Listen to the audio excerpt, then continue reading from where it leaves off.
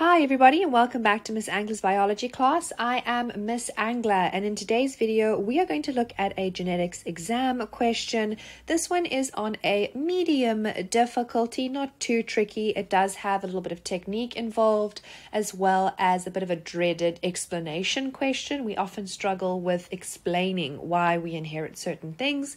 So if you'd like to attempt the question you can pause the video now before I get into breaking down the answers. Also, if you're new here, don't forget to give this video a thumbs up and subscribe and make sure your notifications are turned on because I post new videos every Tuesday and Thursday. And also, if you are in matric and you are looking to dramatically improve your marks and get that extra edge, you should think about joining my membership. My membership has a whole bunch of amazing uh, perks, things like my cheat sheet summary notes, which make studying so much easier, live lessons, and so much more. You can join via the join button on my homepage. So let's get into this exam question and let's uh, read through the details. So we have a pedigree diagram in front of us and it says that it shows the inheritance of color blindness um, in a family Color blindness is sex linked, which is important for us to know, and it is caused by the recessive allele with a lowercase d. The ability to see color normally is caused by the dominant allele, capital D. So they've given us some important information. The first piece of information that's really important to us is that this is sex linked, and the second thing is they've provided us with the letters. Now you'll notice that they've said it's sex linked, but nowhere have they actually given the chromosomes, the sex chromosomes. And they do that sometimes to make this a little bit more difficult so that keeps you on your toes. So at this point, you should know that if it's sex linked, it's going to be on the X chromosome, and that means that we are going to see either a capital D on the X chromosome or a lowercase d on the chromosomes. And so that means that if someone has a capital, they will have normal vision. Whereas if they have a lowercase d, they will be colorblind. So we want to keep that in mind as we make our way through this question. So the first question asks us to um, calculate how many of the male offspring of parents 1 and 2 were normal. All right, so let's just actually highlight all the males um, of parents 1 and 2, males being um, the squares and they're normal, meaning they have normal color um, sight. And so we've got one male over here and we've got another one over here. We're not going to include this individual because he is not a son. He is a man that has a child with one of their daughters, but he is not one of their offspring. And we're not going to include this man either because he is a son, yes, but he doesn't have normal vision.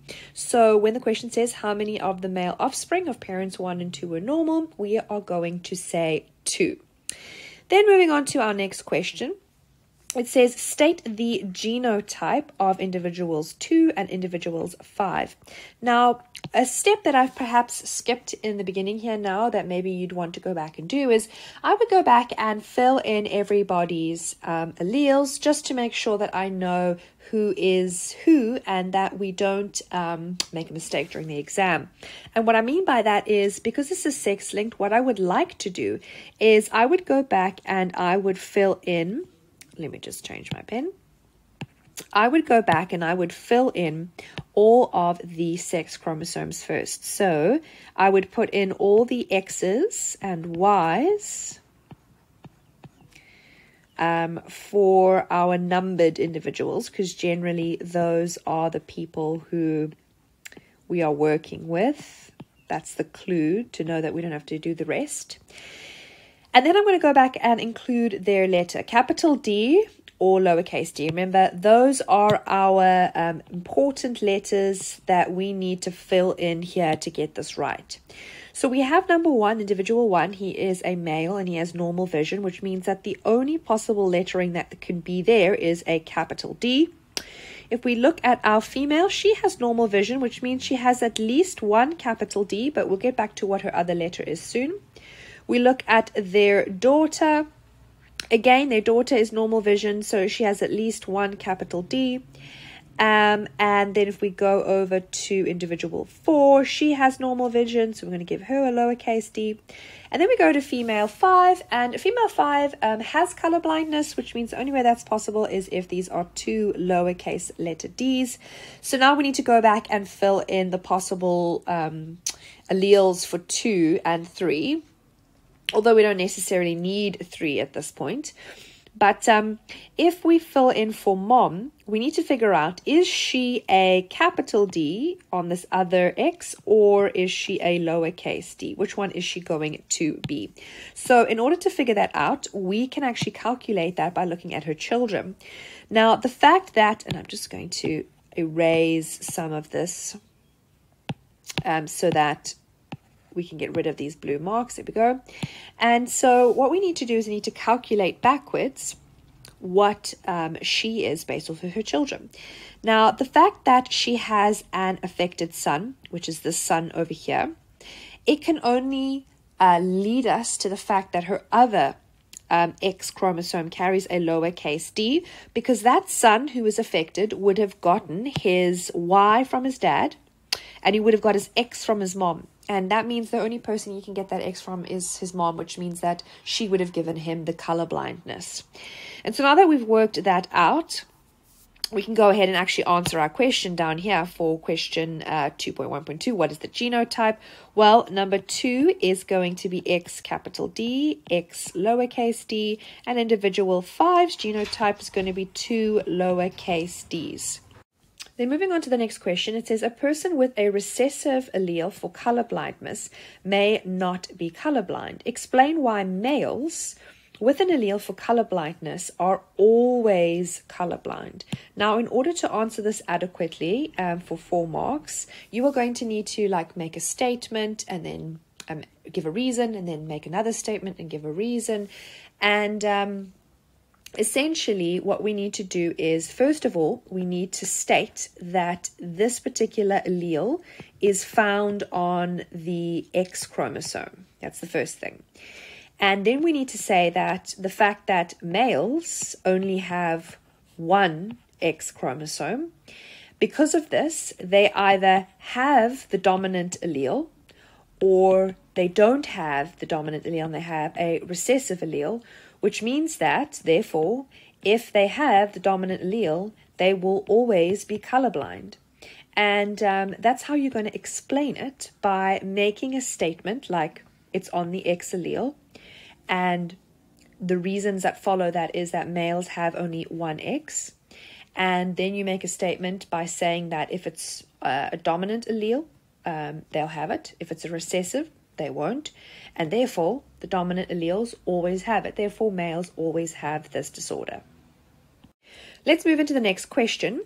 It says if individual 5 marries a normal male, what percentage of their daughters will have an allele for color blindness but will not be colorblind. So we've got some key pieces of information here.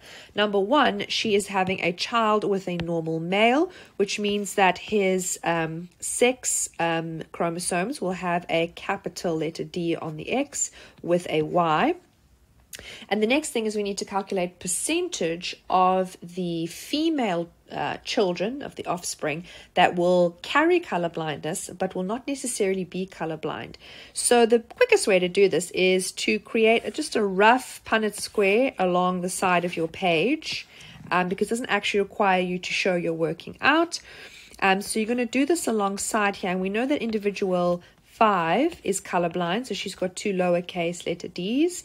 So if we quickly do the Punnett square so we can do the working out, we'll be able to see what are the chances, what is the percentage chance of the female children. So we've done the calculations. Now we can go back and let's just make sure that we only work with the females, which means we're only going to work with this individual over here and this one over here because the other two are males.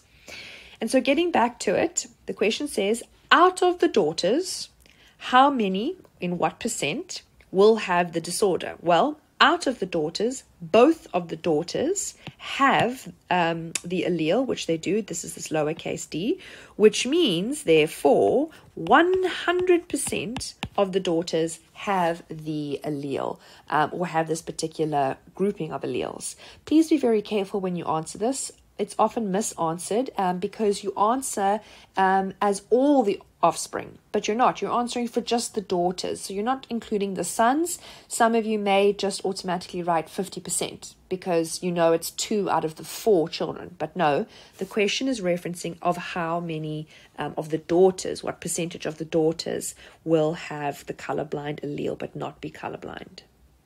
Now, here is the memo for you to go over and to check your own answers and just see how they've structured out the memo. I would like you to just pay um, some attention, particularly to 213 and how they've answered it.